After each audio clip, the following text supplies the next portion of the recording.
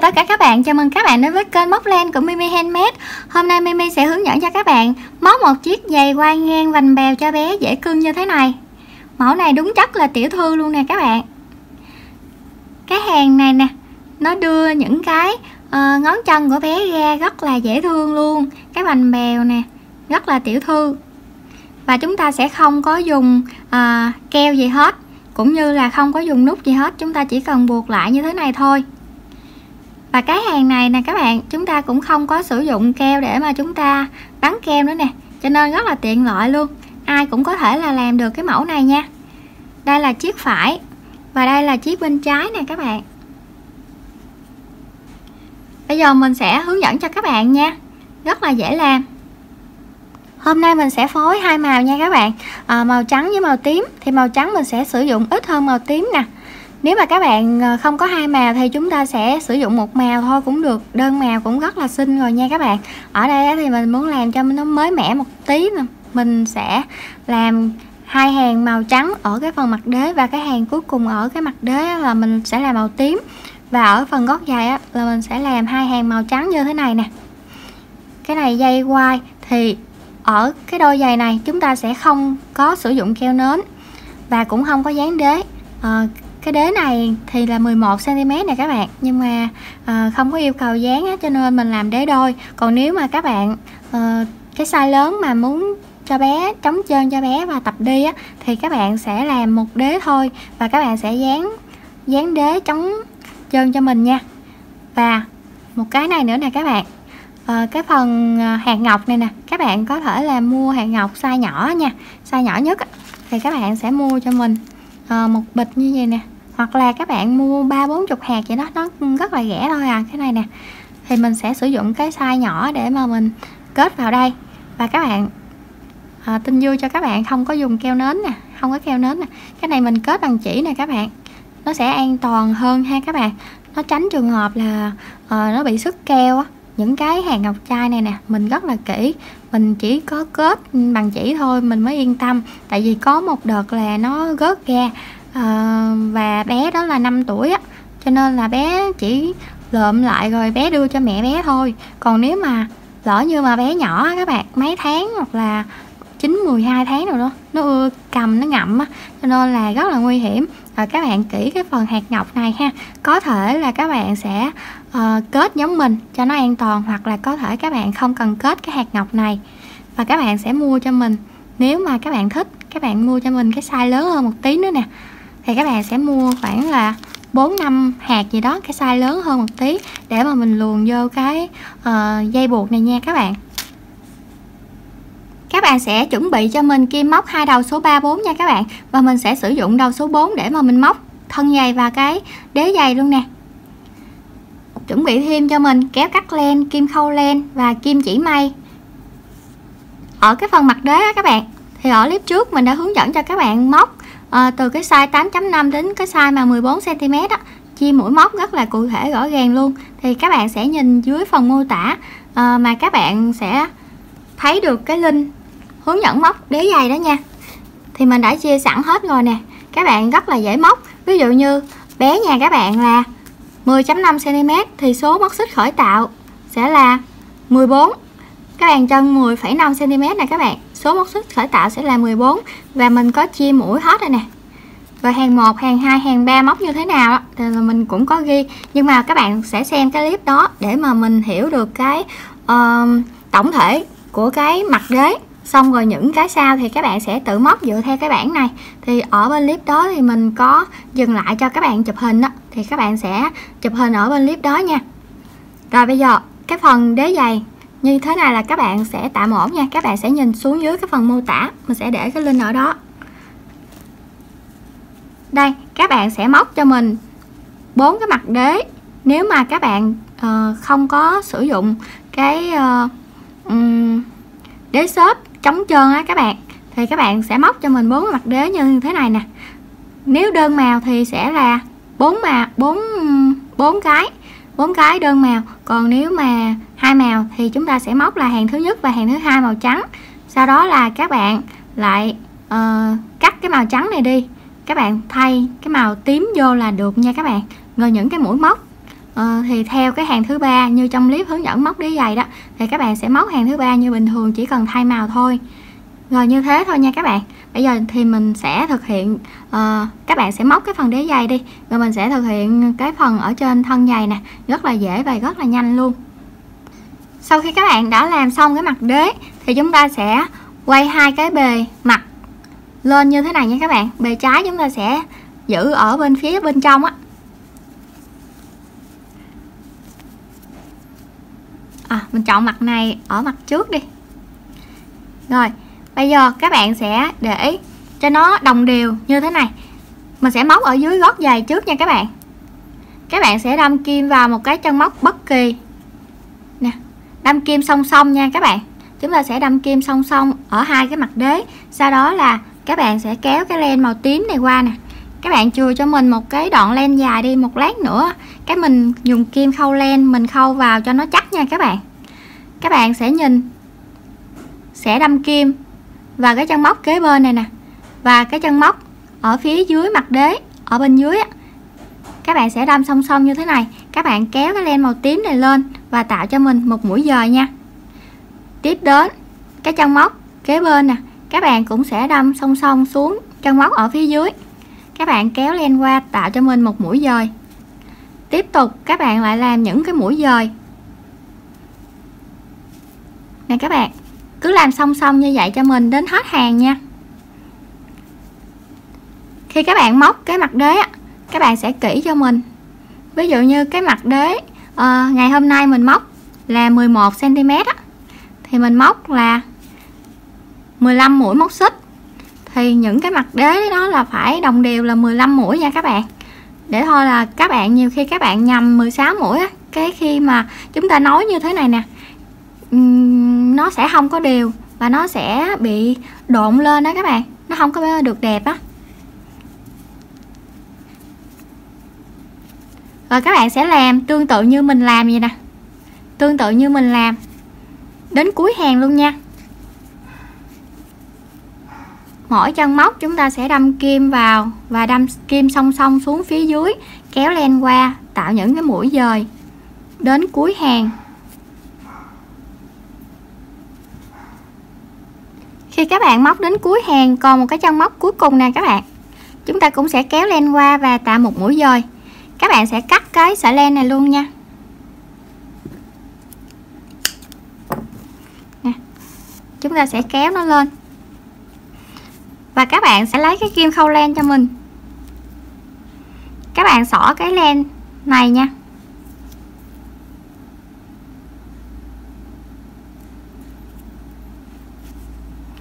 Các bạn sẽ đâm kim thẳng xuống phía dưới này. Và chúng ta sẽ đâm kim từ bên này nè các bạn. Qua cái chân bên đây luôn nha. Để chúng ta tạo được một cái mũi nữa. Một cái mũi tổng để một lát nữa chúng ta làm cái gót giày á các bạn. Ở đây các bạn sẽ cột hai cái uh, sợi này lại nè. Hai cái cọng len này lại. Cột gút nó lại như thế này nha các bạn. Xong rồi mỗi cái len hai bên á thì chúng ta sẽ giấu vào cái chân móc nè.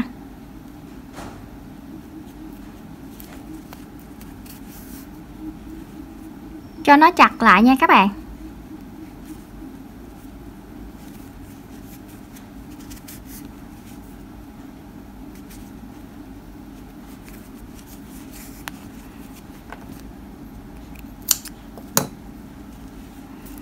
Rồi con cái còn lại nè, các bạn cũng giấu cho mình luôn nha.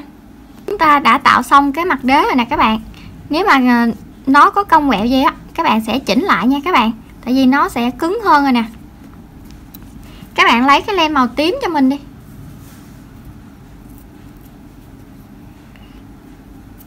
Các bạn sẽ chừa ra một đoạn len dài để mà một lát nữa chúng ta sẽ khâu nha các bạn. Các bạn quấn len một vòng, tạo một nút thắt. Ở cái size 11 này, các bạn sẽ móc cho mình là 18 mũi móc xích nha. 2 3 4 5 6 7 8 9 10 11 12 13 14 15 16 17 và 18 nè các bạn. Thì 18 mũi móc xích này khi mà chúng ta ốm thử qua cái bàn chân của bé thì nó sẽ được cái bề ngang như thế này nha các bạn. Khi mà các bạn móc cái size khác á, ví dụ như size nhỏ thì nó cũng sẽ trên lệch với cái số móc xích này từ 1 đến 2 móc xích nha các bạn. Và cái size lớn hơn cũng vậy nữa trên lệch là khoảng 1 2 móc xích thôi. Thì các bạn sẽ uh, ốm thử qua cái chân bé nha. Nếu mà size nhỏ thì có thể là 15 16 á các bạn. Khi mà chúng ta móc được 18 mũi móc xích như thế này nè các bạn sẽ móc lên cho mình một móc xích nữa. Thay vì chúng ta sẽ đâm kim vào từng cái nhánh này để chúng ta móc những cái mũi, móc đơn này các bạn, thì bây giờ các bạn sẽ quay ngược ra cho mình như thế này nha. Đó, nó sẽ có những cái đường nhô lên như thế này nè các bạn. Những cái chân móc nhô lên, thì chúng ta sẽ móc vào những cái chân móc này, thay vì chúng ta sẽ móc ở cái cạnh này nha. Các bạn sẽ quay ngược nó lại, đâm kim vào đâm kim vào cái chỗ này. Như thế này nè các bạn đâm kim vào đây nha. Đây bây giờ mình sẽ lật lên cho các bạn. Hai cái chân móc của chúng ta vẫn còn y nguyên nè các bạn. Chúng ta sẽ đâm kim vào cái uh, chỗ nhô lên á. Chúng ta sẽ kéo len qua và móc cho mình một mũi móc đơn. Rồi những cái đường nhô lên của mỗi cái chân móc tiếp theo á, các bạn sẽ móc cho mình. Mỗi chân móc đó là mỗi mũi móc đơn đến cuối hàng như thế này thì một lát nữa chúng ta sẽ không có cần viền lại á các bạn. Thì các bạn uh, móc uh, áo hay là đầm gì á thì nếu mà các bạn uh, dùng cái hàng này là hàng đầu tiên uh, cũng được nè. Chúng ta sẽ đâm kim vào những cái cái đường nhô lên như thế này. Thì một lát nữa chúng ta sẽ không có cần viền lại ha. Và các bạn sẽ làm đến cuối hàng. Mình đã móc đến cuối hàng rồi nè các bạn sau đó là các bạn sẽ xoay ngược cái đầu móc này lại nha. Các bạn sẽ không có cần lên móc xích. Các bạn đâm kim vào cái chân móc đầu tiên, móc cho mình một mũi móc đơn. Chân móc thứ hai, một mũi móc đơn. Những cái chân móc còn lại đến cuối hàng, các bạn cũng sẽ móc cho mình là những mũi móc đơn nha. Và các bạn sẽ làm cho mình tổng cộng là 8 hàng mũi móc đơn tính từ cái hàng đầu tiên như thế này. 18 mũi móc đơn và chúng ta sẽ có là 8 hàng mình đã móc được tới 8 hàng rồi nè các bạn. 1 2 3 4 5 6 7 8 các bạn sẽ móc lên một móc xích nha. Kéo và chúng ta sẽ kéo ra một cái đoạn len dài để mà một lát nữa chúng ta sẽ khâu vào.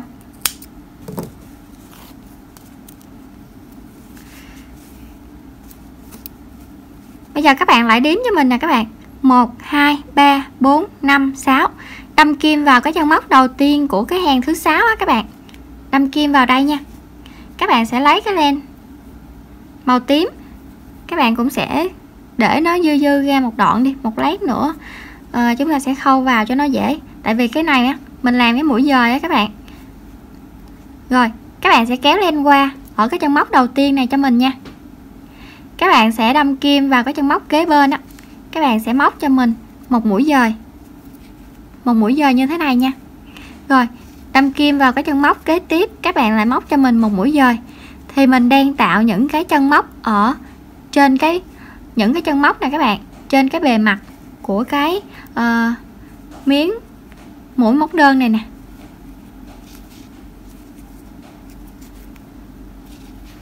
Các bạn cứ đâm kim vào từng cái chân móc.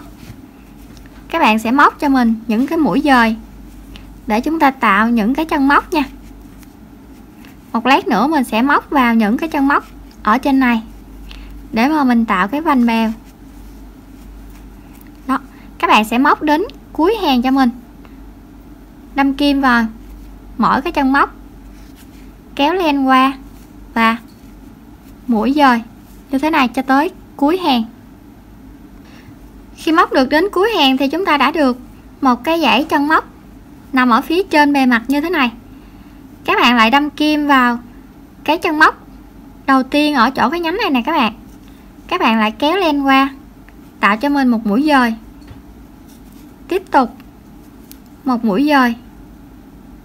Nè, cái chân kế bên này nè, một mũi dời nữa.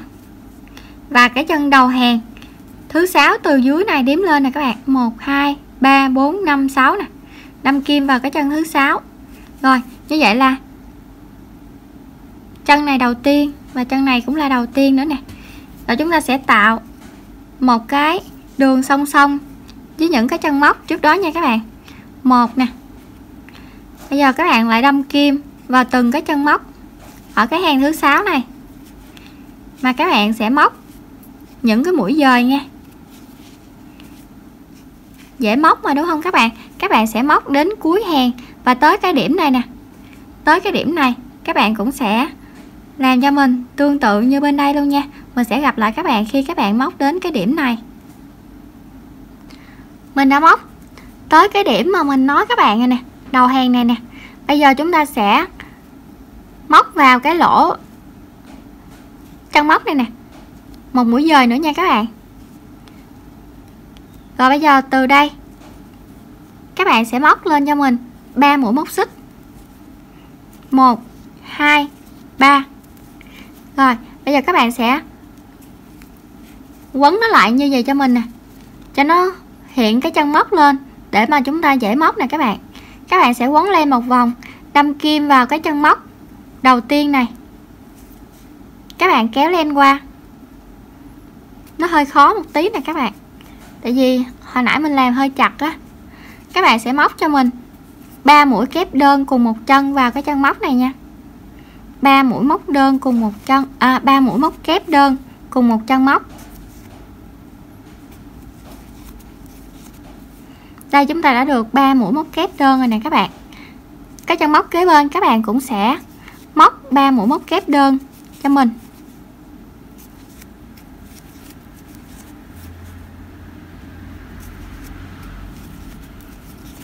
Chân móc kế tiếp, các bạn cũng sẽ làm tương tự. Các bạn sẽ làm những cái chân móc còn lại cho mình. Mỗi chân móc là móc vào đó 3 mũi móc kép đơn. Đến cuối hàng luôn nha các bạn. Để chúng ta tạo được những cái vành mèo gợn sóng như thế này nè. Nó rất là xinh xắn luôn. Ở đây là mình đã tạo được hai mũi móc kép này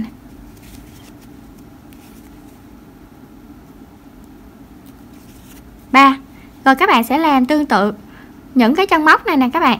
Các bạn sẽ móc vào đây ba mũi móc kép, kể cả những cái chân móc bên đây luôn. Các bạn sẽ đi vòng qua.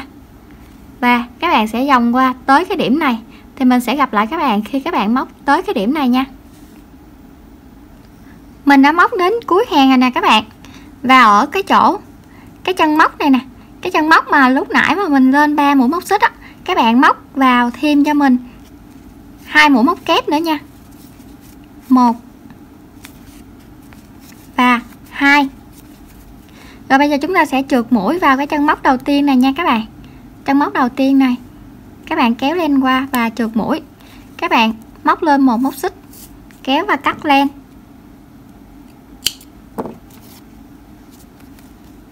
Các bạn sẽ rút lại. Một lát nữa các bạn sẽ giấu cái phần len thừa này vào trong mũi móc cho mình nha bây giờ thì chúng ta sẽ làm cái hàng ngọc trai trước khi mà chúng ta kết vào nha các bạn.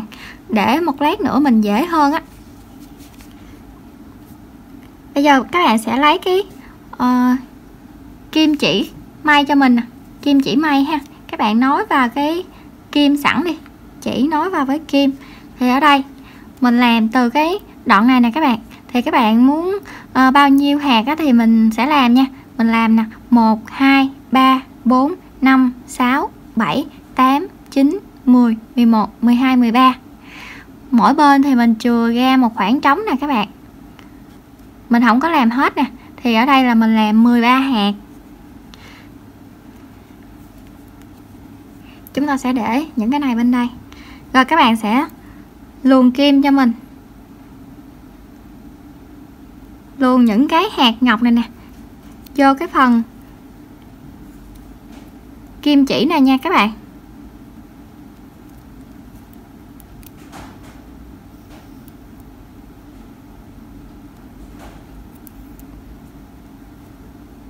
Để chúng ta sẽ tạo một cái dây.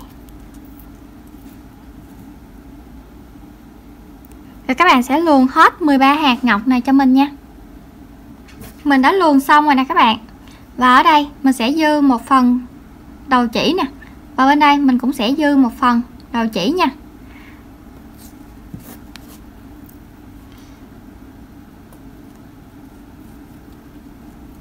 Đầu tiên nè các bạn.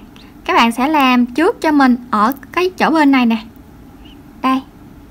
Các bạn sẽ luồn cái chỉ này qua đây cho mình trước nha.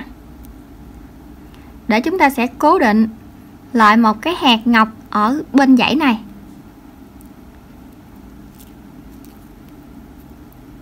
đó chúng ta sẽ cố định một cái hạt ngọc như thế này nha các bạn.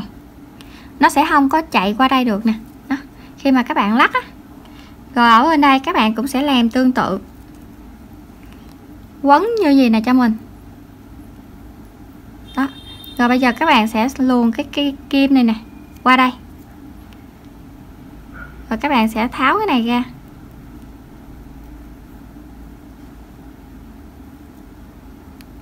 Đây các bạn nó cũng sẽ không có chạy được qua bên đây. Vậy thì mình đã tạo được một chuỗi như thế này rồi. Bây giờ mình sẽ lấy cái mình khâu vào nha. Mình sẽ bỏ một cái lỗ bên đây nè. Đâm kim vào cái chỗ này. Đâm kim vào cái phần len đó các bạn. Hồi à, lúc mà mình làm cái chiếc đầu tiên á mình khâu cái này sau á, cho nên là nó khó hơn là khâu bây giờ nè. Mình hướng dẫn cho các bạn thì các bạn sẽ dễ hơn. Nè các bạn các bạn đâm kim qua cái lỗ này một vòng cho mình nha. Đâm kim qua đây nè, để mình cố định lại cái hạt ngọc này. Cho nó nằm yên á các bạn. Rồi, bây giờ các bạn lại đâm kim xuống cái phần len này nha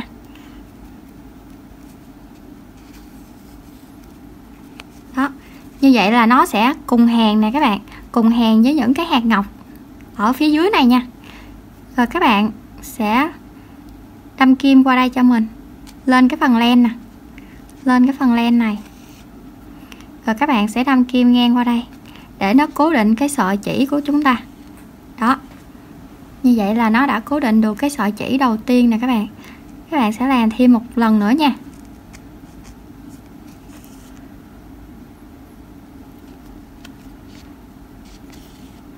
Rồi bây giờ các bạn còn dư một chút len nè. À, chút chỉ nè. Thì các bạn sẽ đâm kim cho mình ở chỗ bên cái phần này nè. Để chúng ta đâm kim qua cái lỗ ngọc ngọc này nè các bạn. Xong rồi chúng ta lại đâm kim xuống cái phần len. Rồi bây giờ các bạn sẽ lật lại ở phía dưới nè. Các bạn sẽ khâu lại cho mình cho nó chắc chắn hơn nha các bạn chắc các bạn sẽ tạo một cái nút thắt cho mình ở phía dưới này.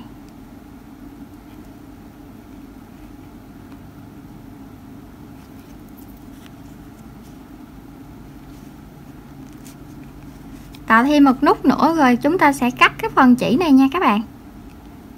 Rồi cái phần bên kia, các bạn sẽ làm tương tự như thế này.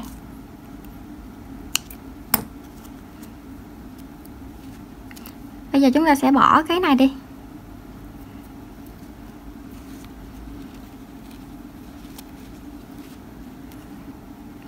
Ở cái đầu bên đây á. Là các bạn cắt nó đi nha. Sau đó là các bạn sẽ lấy cái kim chỉ, lấy cây kim này nè các bạn. Các bạn sẽ tách cái sợi này ra nè. Các bạn sẽ đâm kim. Các bạn sẽ xỏ kim trước.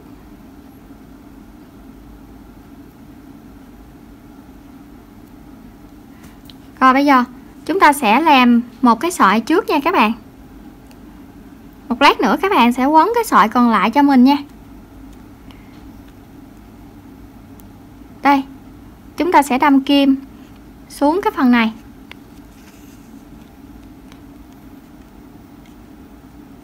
Tại vì nó hai sợi á, cho nên là các bạn sẽ làm hai lần cho mình. Cho nó chắc á các bạn.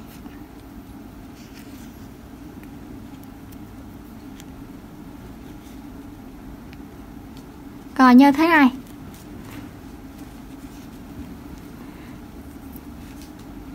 Sau đó là chúng ta sẽ đâm kim lên cái phần len này. Để chúng ta xỏ qua cái phần ngọc trai nha. Nè, xỏ qua cái phần ngọc trai.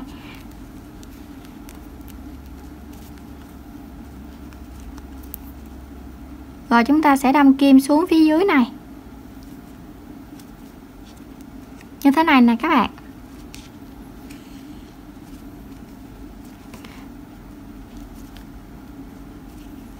Rồi bây giờ các bạn sẽ làm tương tự như bên đây nha. Các bạn sẽ làm thêm cái uh, khi mà xong cái cái ờ, uh, cộng bên đây nè. Các bạn nối cái kim này vô cái chỉ này và các bạn sẽ may cho mình cho nó chắc chắn hơn nha các bạn. Mình đã khâu cái hàng ngọc này vào chắc chắn rồi nè các bạn. Thì chúng ta đã được một cái phơm như thế này nha. Bây giờ một lát nữa chúng ta sẽ cố định cái phần hai bên mép á, thì cái chỗ này nè nó sẽ túm lại như thế này rất là dễ thương. Và bây giờ các bạn sẽ chọn cho mình một mặt nha. À, một mặt để ở ở bên ngoài này và một mặt quay vô trong như thế này nha các bạn. Thì ở đây mình đã chia ra như thế này cho các bạn dễ nè. Không tính cái điểm mình đánh dấu nha các bạn. Các bạn sẽ đếm cái mũi kế bên nè. 1 2 3 4 5 6 7 8 9 10 11 12 13 14 14 mũi ở phía trước này nè các bạn. Thì ở đây, các bạn có thể là dựa vào này. 1 2 3 4 5 6 7 8 9 10 11 12 13 14 thì ở đây hai chiếc của chúng ta là sẽ làm đều nhau như thế này, size 11 nha các bạn. Còn những cái size khác thì các bạn cứ ốm qua thử à, đưa cái à, những cái ngón chân của bé ra ngoài á, thì à, nó hợp lý là được nha các bạn. À, size nhỏ hơn thì có thể là 11 12 13 và size lớn hơn có thể là sử dụng 14 này cũng được hoặc là lên cho mình uh, thêm uh, một nữa thôi là 15 nè các bạn.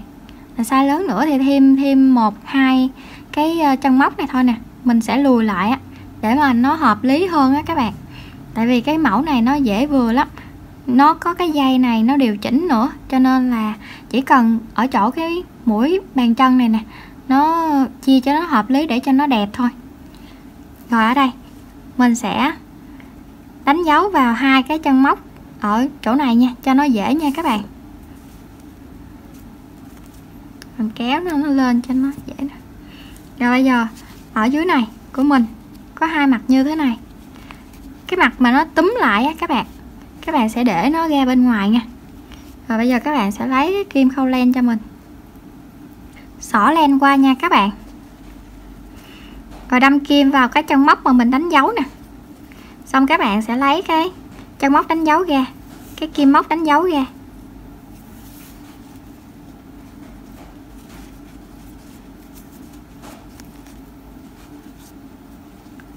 Rồi bây giờ các bạn sẽ ốp nó lại như thế này nè cái chân móc đầu tiên á các bạn. Các bạn sẽ làm cho mình thêm một vòng nữa.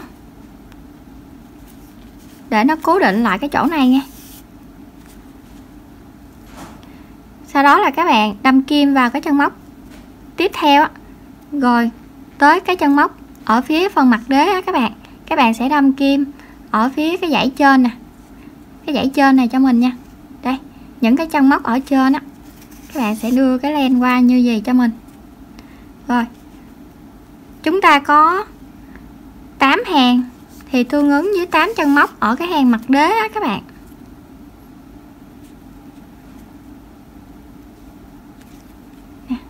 Tới cái chân móc này.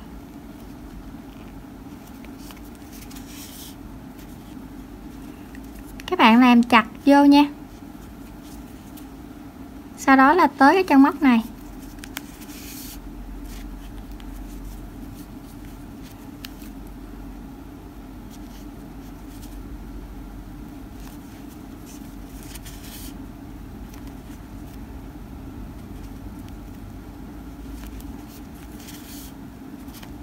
Cần kế cuối rồi nè các bạn.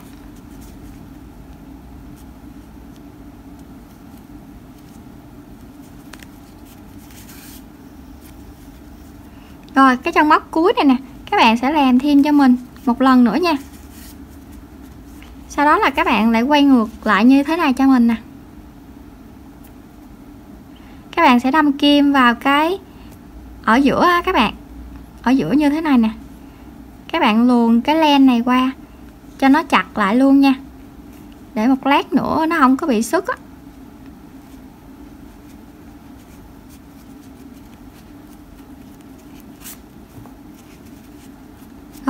Kéo chặt lại. Rồi các bạn sẽ cắt cái phần len này đi, là nó chắc dữ lắm rồi. Rồi, cái này là an toàn rồi nè các bạn. Sau đó là các bạn đếm ở cái phần bên đây. 1 2 3 4 5 6 7 8 nè. Đâm kim vào cái chân móc này nè. Các bạn sẽ xỏ cái len này đi. Mình đánh dấu rồi đó. Bây giờ mình đánh dấu như vậy thôi, các bạn sẽ làm lại cái bên đây cho mình nha. Nè, rồi các bạn sẽ đâm kim vào cái chân móc mình đánh dấu. Cái chân móc này. Rồi các bạn lấy cái này ra đi. Đây. mình đánh dấu gì đi cho nó dễ. 1 2 3 4 5 6 7 8 này tâm kim qua đây. Rồi các bạn sẽ làm cái phần còn lại bên đây cho mình nha. Mỗi cái chân móc bên đây, rồi tới cái cuối cái này luôn. Tới cuối cái chỗ này nè các bạn. Bây giờ mình đã được một cái form dép dễ cưng như thế này rồi nè các bạn. Khi mà các bạn nối vào rồi là những cái hàng vành này nè, nó sẽ hình thành ra đẹp hơn khi mà chúng ta chưa nói nha. Thì cái phần mình nói với các bạn ở cái hàng à, mà đầu tiên mà nó ưa ớt á mình đưa ra ngoài thì nó sẽ làm gọn cái à, mũi chân nè các bạn. Rồi cái ở phần này thì chúng ta thông thoáng nè. Và bây giờ mình sẽ hướng dẫn cho các bạn làm cái ở phía phần gót này nhanh lắm. Các bạn sẽ uh, đếm mũi cho mình nè. 1 2 3 4 5 bây giờ ở dưới cái gót chân này, các bạn sẽ đâm kim vào cái điểm thứ nhất ở chỗ này nha. Các bạn kéo len qua như thế này cho mình nè. Móc lên một móc xích, đâm kim vào cái chân móc đầu tiên luôn. Móc một mũi móc đơn cho mình. Các bạn kẹp cái sợi len thừa vào trong mũi móc luôn nha. Kéo cái sợi len này nè. Rồi ở đây được một nè khi mà các bạn làm size lớn hơn á, là cái chỗ gót chân này nè à, các bạn có thể là làm qua bên đây cho mình nha. Nó cứ song song đều nhau là được rồi. Để cho nó ôm cái phần gót ừ, của bé các bạn như là cái chỗ này nè. Đây các bạn có thể là điều chỉnh cái chỗ này. Nó sẽ ra bên đây một chút nè. Nếu mà ra bên đây một chân móc thì bên đây các bạn sẽ ra bên đây một chân móc cho mình. Rồi các bạn muốn cho nó uh, nhiều hơn một tí nữa thì thêm một chân móc nữa. Thì bên đây thêm một chân móc nữa thì các bạn sẽ làm làm tương tự như cái này nè. Cái bề ngang của chúng ta sẽ uh, rộng ra nhưng mà cái chiều cao của chúng ta cũng sẽ uh, cao hơn một tí nữa. Tại vì mỗi cái size bé là khác nhau mà. Đây là mình đã đâm kim được hai chân móc rồi đó các bạn. Chân móc thứ ba nè chân móc thứ ba này nó hơi khó tại vì là cái chân móc mà uh, cái mũi mà hồi nãy mà chúng ta nói hai cái mặt đế lại á nó hơi gít 4 nè. Rồi bên đây là 5 ở phía giữa này nha các bạn. Sau đó là các bạn sẽ quay ngược đầu móc lại đâm kim vào cái chân móc đầu tiên này các bạn móc một mũi móc đơn. Những cái chân móc còn lại các bạn cũng sẽ móc là những mũi móc đơn. Có 5 chân móc nè. 5 mũi móc đơn.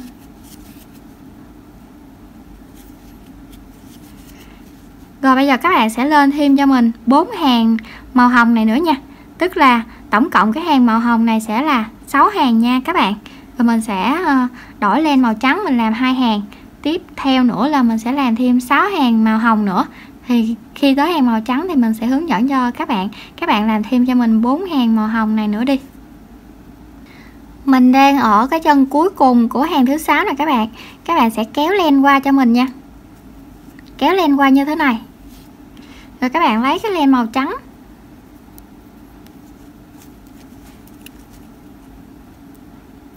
Lấy len màu trắng nè. Các bạn sẽ kéo qua như thế này để tạo một mũi móc đơn nha các bạn rồi sau đó là các bạn sẽ quay ngược đầu móc lại. Các bạn nẹp cái sợi len màu trắng lại cũng được nữa nè. Rồi các bạn sẽ đâm kim vào cái chân móc đầu tiên, móc một mũi móc đơn. Một mũi móc đơn. Sau đó là chúng ta sẽ được 5 mũi móc đơn.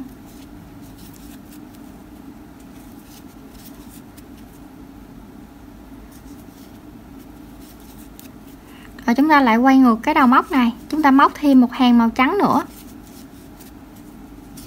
sau nào cũng vậy các bạn sẽ uh, cái hàng màu hồng á các bạn sẽ tăng cái hàng màu hồng lên nha các bạn. Còn hàng màu trắng các bạn sẽ làm hai hàng thôi nha. À quên nữa. Đây.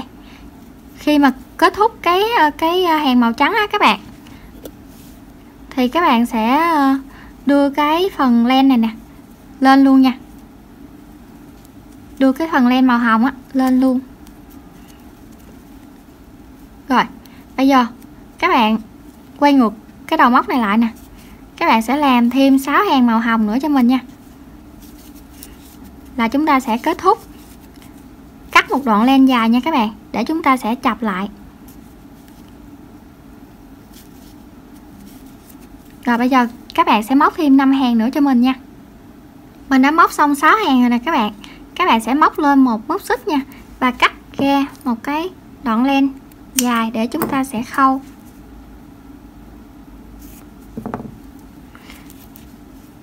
Cái chỗ len này nè. Mình đã nẹp rồi thì mình cắt nó đi. Chỗ cái phần này cũng vậy nè. Còn cái màu trắng này, các bạn sẽ đưa vào trong cái mũi móc màu trắng luôn nha.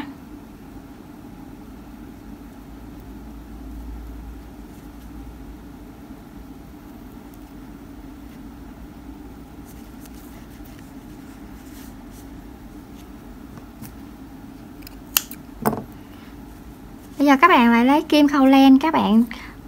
Để cái len hồng này nè. Vào cái kim khâu len này cho mình. Sau đó là các bạn sẽ ốp lại như thế này. Mở chân móc chúng ta sẽ đâm kim vào.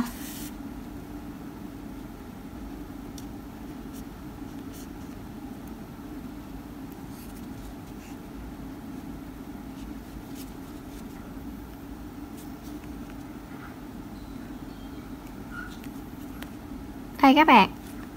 Chúng ta sẽ đâm kim vào mỗi cái chân móc như thế này nha. Rồi chúng ta lại lòn qua.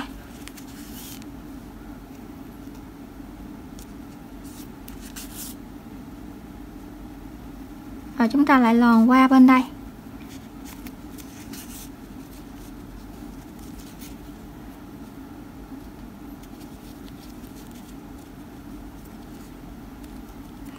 Các bạn sẽ làm tương tự như những cái Ờ, uh, dãy bên đây nè. Có lần qua lần lại như vậy á tới cuối hàng thôi. Cái này có 5 chân móc à, cho nên là nó sẽ nhanh. Thêm một lần nữa nè các bạn. Thêm một lần ở cái hàng cuối đi.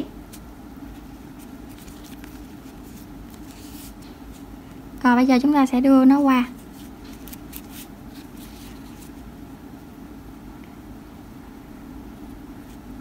nó chắc chữ lắm rồi nè các bạn.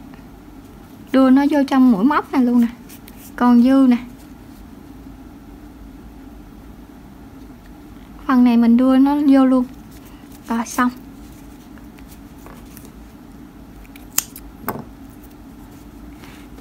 Và bây giờ chúng ta đã được một cái độ cao như thế này nè.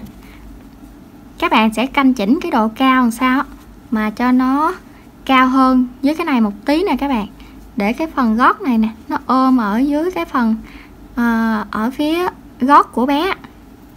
Ở phía gót chân của bé nó ôm lại. À, cái size nhỏ hơn thì các bạn cũng sẽ à, ví dụ như cái size mà chín thì các bạn sẽ giảm xuống một hàng màu hồng này cho mình đi. Size 9 size 10 á các bạn giảm xuống một hàng thôi. Còn size 10.5 11 thì các bạn sẽ làm hàng này. 11.5 á thì các bạn uh, nếu mà các bạn có thể thì các bạn sẽ tăng thêm một hàng màu hồng này cho mình.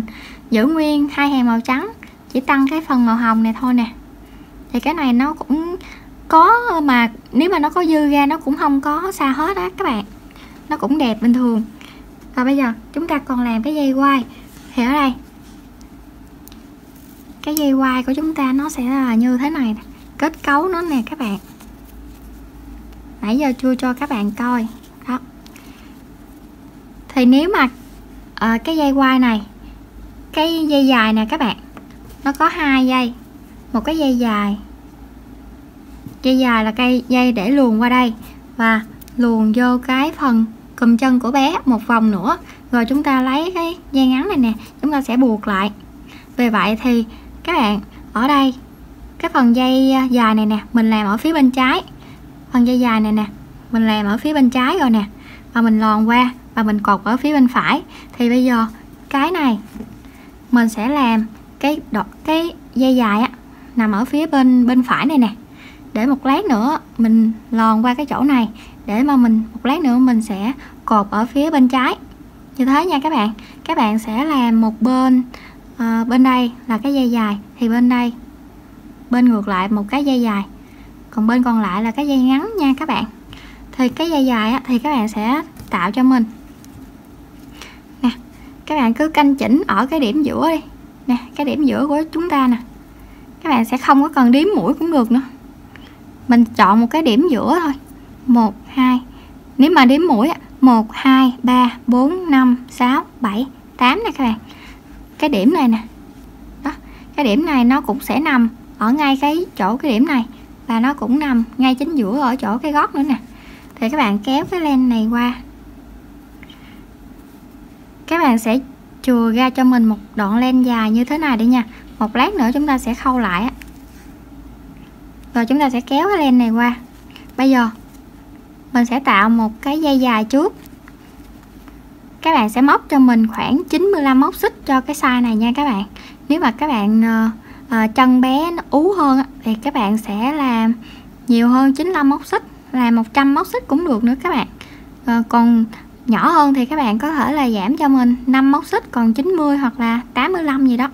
Rồi, bây giờ các bạn sẽ móc cái đoạn dây dài là 95 mũi nha. Khi các bạn móc được 95 mũi thì các bạn sẽ móc lên một móc xích nữa. Kéo ra một cái đoạn dài như thế này nha các bạn. Để một lát nữa, chúng ta lòn cái hàng ngọc trai qua. Còn nếu mà các bạn không có làm thì các bạn sẽ cắt cái này ngắn thôi nha rồi bây giờ mình sẽ làm cái dây nhỏ à, cái dây ngắn. Thì chúng ta cũng sẽ đâm kim vào cái chân móc này luôn nè. Đâm kim vào cái chân móc mà chúng ta vừa đâm kim á. Các bạn móc cho mình khoảng 35 chùa cho mình ra một đoạn dây dài luôn nha. Móc cho mình khoảng 35 đến 40 móc xích nha các bạn. Tùy size nha. 2 rồi nè.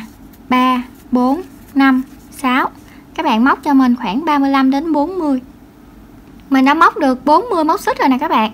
Và mình sẽ kéo lên một đoạn len dài luôn nha. Để một lát nữa chúng ta làm cái hạt ngọc. Và các bạn sẽ lấy cái kim khâu len cho mình. Đầu tiên nè, các bạn sẽ buộc lại hai cái cọng dây này trước đi. Tại nó ở gần nhau nè các bạn. Các bạn sẽ buộc nó chặt trước nha rút lại một lần nữa đi các bạn.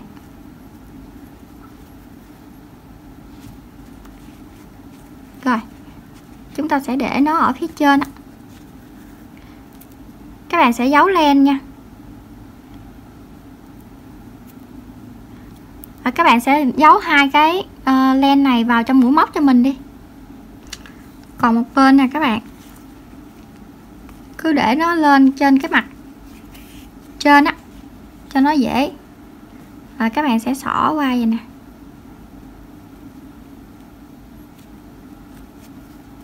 Cho nó nhanh nha.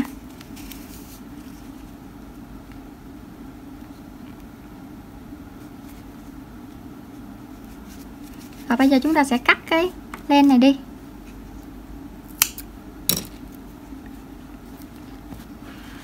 Bây giờ mình sẽ xỏ cái hạt ngọc vào nha các bạn mình sẽ làm mẫu cho các bạn một bên. Thì mấy clip trước á, mình đã hướng dẫn cho các bạn rồi hết rồi.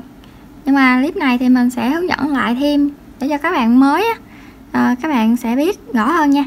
Các bạn sẽ đưa cái kim khâu len vào chỗ này. Và chúng ta sẽ kéo cái len này qua nè. Kéo nó vào đây. Chừa lại khoảng hai chân móc cho mình nha. Rồi đầu tiên các bạn sẽ xỏ qua một cái chân móc này nó tạo một cục rồi nè các bạn. Như vậy là nó sẽ không có lọt ra được. Đâm kim vào cái chân móc ở phía dưới nữa. Rồi tạo tạo một cục nữa và nó đã tròn rồi nè các bạn. Và bây giờ chúng ta sẽ uh, đưa qua đưa lại một lần vài lần nữa thôi rồi chúng ta sẽ cắt cái phần len nha.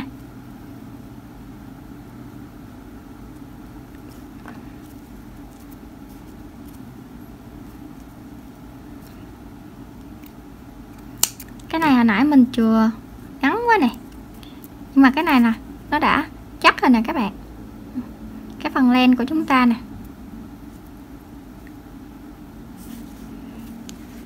Ở bên đây thì các bạn cũng sẽ làm tương tự nha.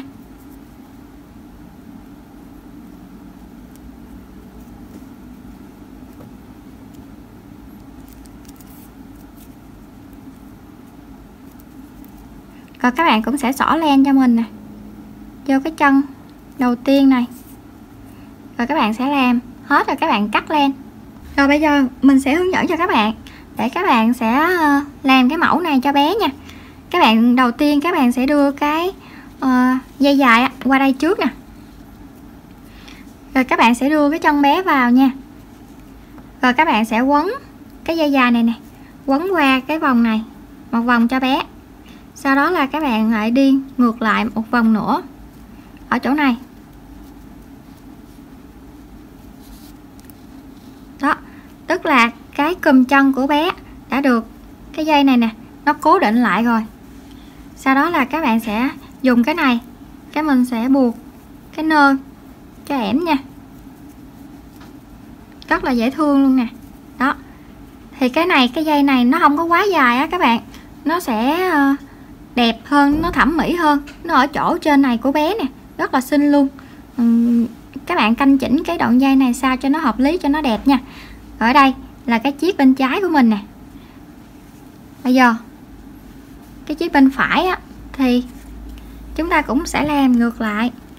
Chúng ta sẽ xỏ cái này trước và chúng ta sẽ đưa cái chân bé vào.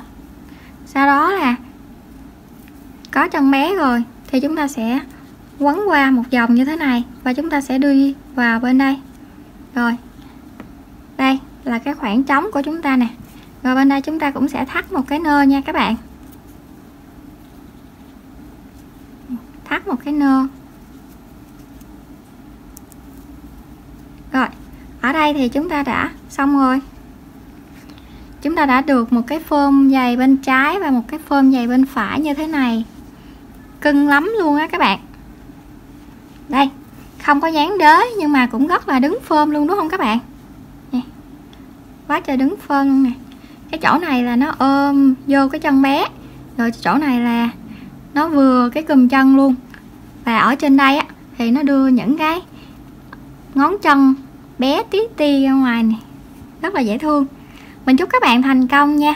Vậy là mình đã à, hướng dẫn xong cho các bạn cái mẫu giày à, quay ngang bành bèo cho bé. Dễ thương thì các bạn nếu mà thích cái mẫu giày này cũng như thích cái video hướng dẫn này các bạn nhấn thích giùm mình nha các bạn và ủng hộ mình bằng một cái lượt đăng ký nha. Còn nếu mà các bạn có thể giúp mình tương tác các bạn có thể ờ, bình luận ở phía dưới phần bình luận giùm mình nha để cho cái video này nó ờ, được đề xuất đó các bạn. À, mình hy vọng là các bạn sẽ luôn yêu thích kênh của Mimi Handmade. Mình cảm ơn các bạn đã xem hết video này nha. Mình chúc các bạn thành công và mình xin chào tạm biệt các bạn và hẹn gặp lại các bạn ở những clip sau nha. Bye bye các bạn.